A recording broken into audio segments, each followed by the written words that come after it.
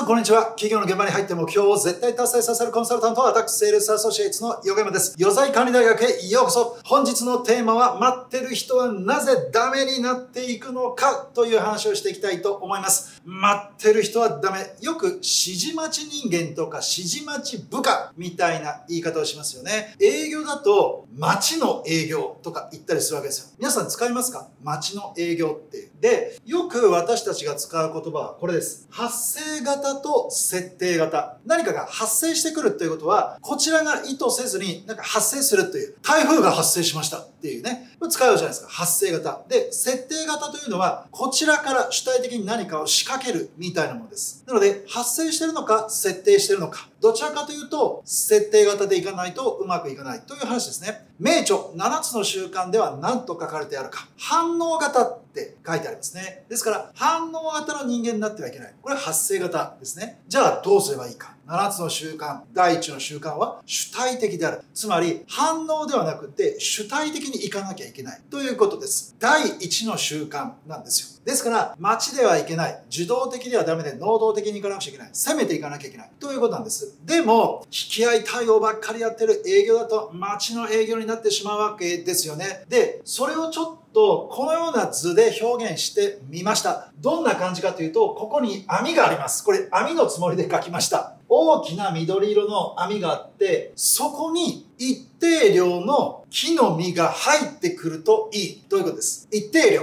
ですからこれには目標があるわけです。その目標を達成させるためには、ここに大きな網を仕掛けておく。そうすると何がいいかっていうと、向こうから風が吹いてくるわけです。このように風がビュンビュン吹いてきます。そうするとどうなるか。この木の実とか、ここら辺になっている果実が落ちて、コロコロコロっと転がってくるということですね。そうすることによって、ここにたくさんの実が入ってくる。こんな感じ。もしくは、この辺りまで転がってくる。向こうから風が吹いてるから。だから、ここに人がいて、拾えばいいわけですよ。楽勝だよね。向こうから風が吹いてくるわけだから。ここで待っていると、コロコロコロっと果実が、木の実がいっぱい来るわけですよ。それをある一定量集めたら目標達成。いいですね。この風とは一体何なのか。いろんなことが考えられますね。技術力とか歴史がある会社。みんな知ってます。有名。何か困ったことがあったら、もしくは何か作ってもらいたいことがあったら、あそこの会社に頼めばいいよ。こういうものが足りない。どこで調達したらいいのか。あそこの商社に頼んだらいいよ。そうか。みんな知ってる。そうすると、寄ってくるわけですよ。これが引き合いですね。これ広告宣伝でもいいですね。広告宣伝することによって風が吹いてくる。向こうからやってくる。ということもあります。もしくは外部環境が変化した。今時代がこうなっているから風が吹いてくる。だから、こっちが頑張ってやらなくても、つまり、ここの人たちが動かなくったって、向こうからどんどん飛んでくるわけですよ。だから動く必要ないじゃないですか。待ってるだけでいいんです。待ってるだけで、時代がこちらにね、風吹かしてくれてる。もしくは、いろんな仕組みとか、いろんな宣伝広告、これを使って、どんどんどんどんこっちに木の実が流れてくるように仕掛けてやる。そうしたらいいわけですよ。だけど、この発生型のビジネスに慣れてしまうとどうなるか。風が止んだらどうなりますかこれですよね。風が止んでしまったら、あの木の実は落ちませんし、コロコロ転がってくることもありません。つまり、引き合いが減るということです。今まで100来てた。ところが、最近は90しか来なくなった。そうそう社長は、あと10どうするんだってなります。いやー、風吹かないっすね。とか、もしくは行ったとしてもこの辺りぐらいまでしか行かないわけですよ。この辺りぐらいしか。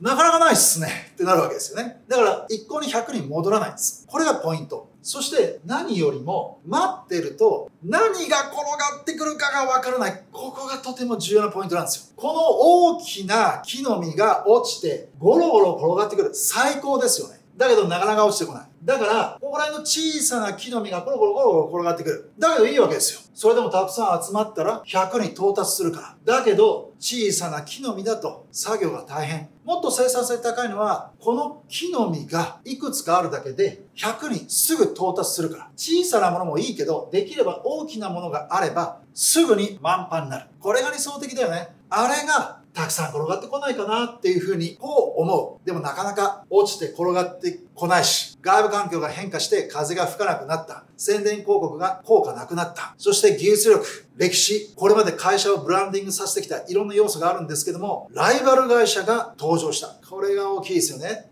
例えばそのライバル会社がこうしたらどうでしょうライバル会社の営業がやってきました。そしてこの営業たちが木に登ってこれらを取ってしまったらどうなります？なくなっちゃいますよね。転がってきません。そうすると社長は思うわけですよ。あんなこと勝手にさせておいていいのか取りに行けってなるんだけど、今まで待ってたものだから、なかなか取りに行けないんですよね。今まで受け身だった人が、じゃあ能動的に主体的に積極的に動けるか動けないんですよ。いや社長待ってたらまた風が吹きますから。もしくはこれまでうまくいってて、うまくいかなくなったのは私のせいですか？私のせいじゃありませんよ。時代のせいです。もしくは広告宣伝が効果なくなったというんだったら、その広告宣伝を変えていけばいいじゃないですか。私たちは別になんか悪いことしてます？ってなっちゃう。こういうことなんですよね。待ってるといけないんです。主体的に何かをするっていうことを慣れないから。これは営業だけじゃなくって、あらゆる仕事でもそうです。なんか自分の仕事がなくなってきたんだけど、じゃなくて、自ら主体的に積極的に動いていかないと、自分が欲しい仕事は手に入らないんですよ。待ってると何がやってくるかがわからないから。だから発生型というのは楽のように見えて、とても生産性が低いし、実は効率が悪いんです。意外とストレスが溜まるんですよ。例えば恋愛だと分かりやすいですかね。自分は結構モテると。いろんな人から言い寄られます。自分が男性だったらいろんな女性から言い寄られる。モテる。いいですね。羨ましい。ところが外部環境が変化したらどうでしょうか昔はああいう人が好みだったんだけど、今はこういう女性の方が、こういう男性の方がいい。はい。自分じゃないのと。昔はモテたのに、今自分は選ばれなくなっちゃったのと。こういうことになりますよね。そうそう。昔はたくさんの人から言い寄られてたんだけど、今はあんまり言い寄られなくなってきた。これがある。それと、もう一つは何と言っても自分で選べないってことが残念じゃないですか。あの人実直な感じがして私タイプなんだなと思っても、その人が来ないわけですよ。自分があんまりタイプじゃないような人が来たりすることもあるじゃないですか。ちやほやされると嬉しい。けれども、実際はっていうと、本当に自分が好きな人とか、自分が好みだと思ってる人とお付き合いできるか、結婚できるかっていうと、分かりませんよね。どちらかというと、自分が攻めた方が大変だけど、こっちの方が自分の望み通りになる可能性は高いですよね。設定型でいくのか発生型でいくのか。私どもは設定型を強くお勧めします。どんな仕事をしてもそうです。どんな営業活動をしても一緒。受け身ではダメ。主体的にやっていかなくちゃいけない。それを今回は表現させていただきました。この YouTube チャンネルは余罪管理大学と言います。目標の2倍の余罪をあらかじめ仕込んでおいて目標を絶対達成させる営業マネジメント手法が余罪管理です。目標の2倍の余罪を仕込む。主体的にですよ。どこにあるんですかっていう人は今まで待ってたからどこにあるのかがわからない。この辺りしか見てないからですよ。この木の実がどこから飛んでくるのかが実は分かってないんですよ。あそこから落ちてここまで転がってきてるのがわからないんですよ。ですから、攻めに転じていくときに、どこに何をしたらいいのかが